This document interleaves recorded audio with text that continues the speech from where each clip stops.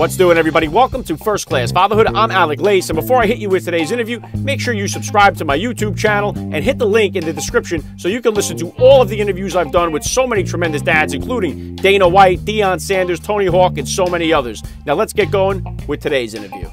Joining me now, a first class father, Craig Wayne Boyd. Welcome to First Class Fatherhood. Hey, man, thank you so much for having me. All right, let's start right here. How many kids do you have, and how old are they? Uh, I have four kiddos at the moment. I've got uh, seven, four, two, and new. wow, yeah, very cool. I got four kids myself. Uh, what kind of uh, sports or activities you got the older ones into? Uh, my oldest is a little. He's a BMX racer. Uh, we've been out on the track a lot. Daddy dislocated his shoulder trying to keep up with him, but it's it's been a fun thing, and I I wanted to get him involved in something that um, he could kind of push himself with and uh, it'd be something that he's not sitting on a bench or anything like that. I thought it was really cool to get into the to the BMX racing. Yeah, that's awesome. Did you guys do any kind of like gender reveal for the new one here to find out what you were having? Or did you wait to the end to find out? Oh man, I, I can't handle surprises. That's not something for me. I, I have to know what's going on. I have to be able to plan for it. So yeah, as soon as we were able to find out, we were finding out. Okay, very cool. Craig, if you could just take a minute here to hit my listeners with a little bit about your background and what you do. Well, man, um, my name is Craig Wayne Boyd, and I'm a season seven winner of The Voice. I've been a, a musician most of my life, and um, it was something that I thought was probably going to be the main thing that I've done throughout life. And uh, little did I know that uh, that kiddos would come into my life, and, and fatherhood would take me in uh, uh a different direction, and, and kind of uh, make me realize that I'm, I can't be as selfish as I was before. Yeah, what would you say has been like the biggest challenge for you since becoming, uh, you know, the, the winner of the Voice? Uh, what are some of the challenges that come along with that while being a father? Uh, the balance of time is probably the the biggest thing for me. Um, when I when I I try to when I'm at home be that be a dad and just stay at home and and uh, put the phone away and uh, and hang with the kids because that's what they want. They want your time. And uh, so I, I, try my best to do that. And uh, when Daddy has to leave to go to work, then he's he's he's gone for a few days. Yeah, yeah, very cool. And uh, like I said, I have uh, four children myself, and for my wife and I, the hardest transition we went through was going from two to three. Uh, that that year seemed like one day for us when we had added our third. Uh, what was the most challenging transition for you so far, and how has it been with adding the fourth right now? Um, number four has been knock on. I better find something to knock on because it's been fairly easy, and I don't want to say that lightly, but uh, I think you're correct in saying that the transition from two to three that's the, that's when you become outnumbered at that point, and uh, that's that was probably the more trying time. Now number four has been uh, not as not as bad. Yeah, yeah, I'm right there with you on that. And uh, what type of uh, disciplinarian are you, Craig, as a dad? And is it different than the discipline style that you grew up with? Um, it's been di- it's been kind of different for each kid because their um, their spirits are different. Um, my oldest is so tenderhearted. Um, I think he's had maybe he's had the the hand or, or a uh, or a paddle maybe once or twice in his life and now it's just a count. It's one, and, and then he's jumping. Um, and luckily enough, the fear of, uh, of, of, of, God or dad or whatever you want to call it, um, being in him has helped me out with the other three. Um, my my middle son, uh, Graydon, the two year old, now he's uh, he's going to be trying on me. I'm I'm certain. Um, I've found for him is being able to or separate him from what he's doing is uh, probably a stronger punishment than even anything for him because he if I put him in the corner then that's what really breaks his uh, his uh, attention and uh, and he realizes that he's in trouble. yeah, well said. And what what about what was the um uh, were you a fan or a, a, watcher of The Voice before you auditioned for? What what kind of pushed you over the edge there to try out for the show? And was that the first time you you, you made the attempt? I had never really watched the show before. Um, before I had moved to Nashville back in in like the 2000 era, um, I had seen American Idol, and then I had heard about the voice stuff, you know, as a as it as it showed up, and um, it, it, intrigued me. But I had um, being a musician and, and running down that path. Uh, my career had many highs and many lows, and I was actually on one of those low points. And uh, I, I was like, I got an email that said, "Hey, are you interested in being a part of the Voice?" And I thought it was a joke. I thought it was a sick joke from a friend or something. Uh, I was like, "Yeah, right." And there's no, we're actually serious.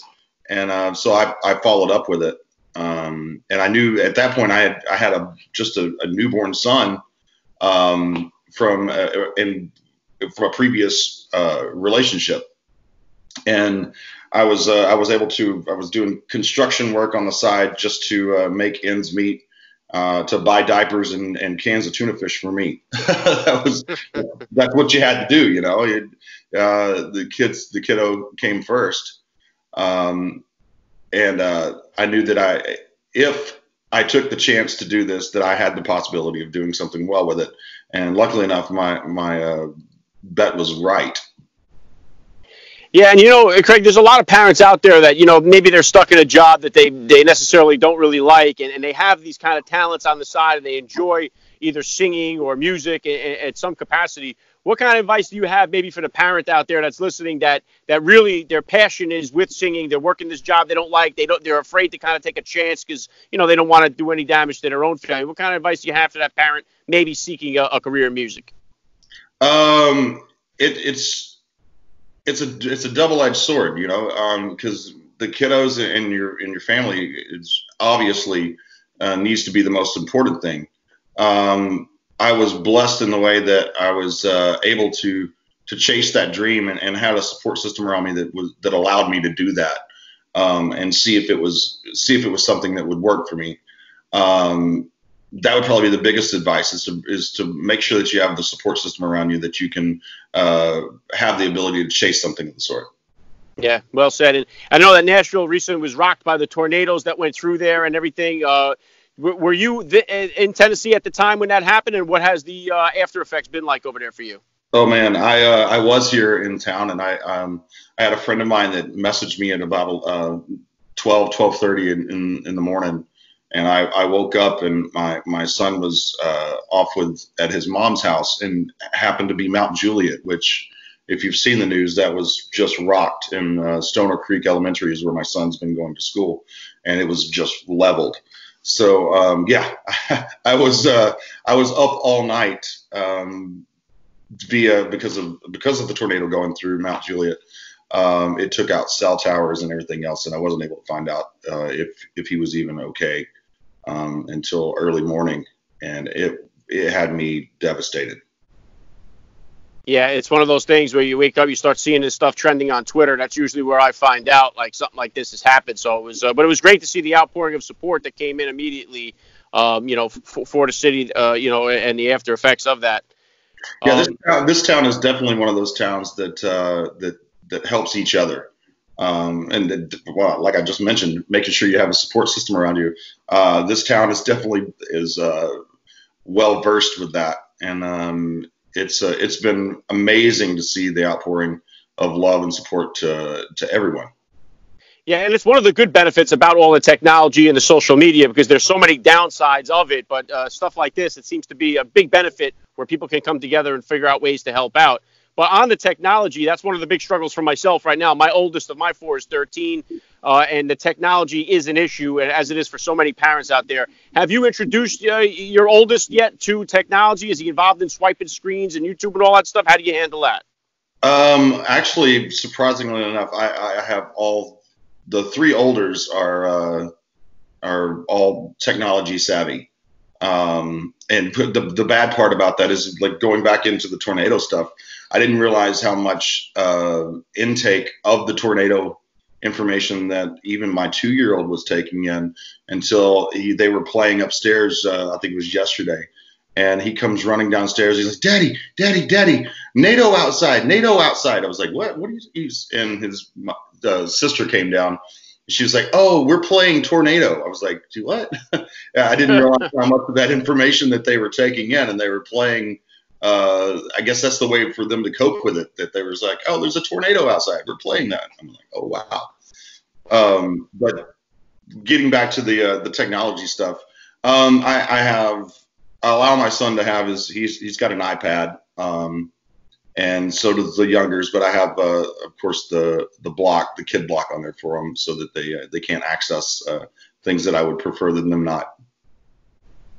Yeah, and, and staying with the technology here, it's changed the way that we consume so much, especially the way we watch movies now and TV shows. But it also affects the way that we now consume um, or listen to music. Since you now your your career has taken off here and you're in the music industry, um, how much uh, of a problem is the technology for you when you're trying to put music out there? And is a lot of it? Do you do a lot more live shows because of that? Um, it is definitely the the even with uh, right now Spotify and and uh, there's a, a, couple of Amazon, I believe they're they're suing the songwriters at the moment and trying to uh, to lessen the amount, which had not been changed up until I think last year. They changed it for the first time since like 1909. Uh, the the rate of what the songwriter got paid. Um, that amount it's it's just ridiculous the the amount of money that we are losing off of because album sales aren't happening anymore so yeah it, that in turn has it keeps me away from home a little bit more than than i would prefer because I, we have to make ends meet right yeah, and I always wonder how, how difficult that must be for the artist. Just because, I mean, yeah, I, I, was I grew up in the era where we couldn't wait to get the album, and that was a whole part of the that went along with it. Just getting the inside cover, looking at the lyrics, and, and things like that. I kind of miss that uh, with this now. Everything is just downloaded, streamed, and it seems like all the content is for free to get. It's uh, it, it, it definitely makes it harder. Um, I'm I'm old school too. I mean, I, in my garage, I've got uh, I got boxes and boxes of CDs that I, I, go through and pull out of, about 20 or 30 of them and, and, throw in the house so that I can listen to them, and then I switch them all out um, I, that was the fun part for me growing up, and that's what actually brought me into music was reading all of the liner notes and and knowing who the musicians were and, and who wrote the songs and stuff like that. To me, that was the that was the fun part. Yeah, very cool. What does the bedtime routine look like for you there, Craig? When you're putting the kids, are you a, a lullaby guy here? Are you singing them songs uh, from the latest album? How do you got to put them down to sleep? Yeah, it's so funny. I uh, there's a few songs that I sing from my childhood. Uh, with uh, Swing Low, Sweet Chariot, and uh, uh, she'll be coming around the mountain when she comes. Uh, and uh, of course, Johnny Cash, Walk the Line. That's uh, that seems to be the closer that shuts down the kiddos at that point. There's no right into that one. Very cool. Yeah, that's the go-to, huh? Oh yeah. what are what are some of the biggest values that you're hoping to instill in your kids here? Um, respect, um, respect of their of their peers to me, I think that's the most important thing because if you res- if you respect yourself and you respect others, then then you are able to gain that uh, in return. Yeah, very well said. And uh, obviously, your career's taken off here. What kind of goals or plans do you have here for yourself for the future? Um, we are. I'm working in the in the studio right now. Um, I've been. That's where Daddy's been going to work lately. Is uh, going into the studio and working on a new album, and uh, that's been keeping me busy. And we've got uh, some new announcements coming uh, like uh, within weeks of, of this new project. And I'm very, very excited for people to hear and uh, understand what, what, we've been working on. Yeah, very cool. I look forward to hearing that. And uh, last thing I want to hit you with here, Craig, I love to ask all the dads that I get on the podcast, what type of advice do you have for the new dad or for that about to be father who's out there listening? Uh, trust your instincts because uh, there's not a book out there that'll teach you what you uh, what your natural instincts will tell you. Yeah, very well said. I love the message. This has been an honor for me. I got to say, Craig Wayne Boyd, you're a first class father all the way, and thank you so much for giving me a few minutes of your time on First Class Fatherhood. Hey, brother, thank you so much. Glad to be a part.